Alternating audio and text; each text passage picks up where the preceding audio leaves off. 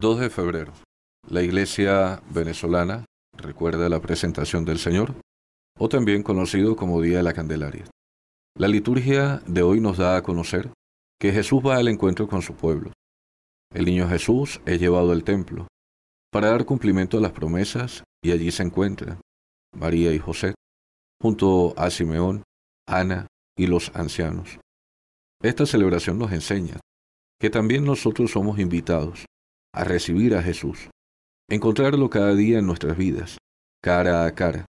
Cuando recibimos al Señor de la vida, como centro de todo, el corazón palpitante de todas las cosas, entonces Él vive y revive en nosotros. La vida toma sentido, se alcanza la armonía. Con Jesús conquistamos el valor de seguir adelante y la fuerza para estar firmes ante las pruebas. Esta fiesta es conocida también como la fiesta de la Candelaria o fiesta de las luces. La Virgen María ha dado a luz a la luz del mundo, el mismo Jesucristo.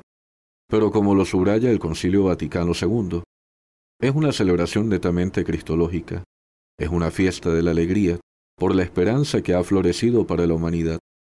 Roguemos para que el Señor encienda nuestros corazones con un fuego santo para seguir a Jesús nuestra luz. El Papa Francisco, en la vigésima segunda jornada a la vida consagrada, nos dijo, son el amanecer perenne de la Iglesia. Les deseo que reavivan hoy mismo el encuentro con Jesús, para que fortalezca vuestros pasos.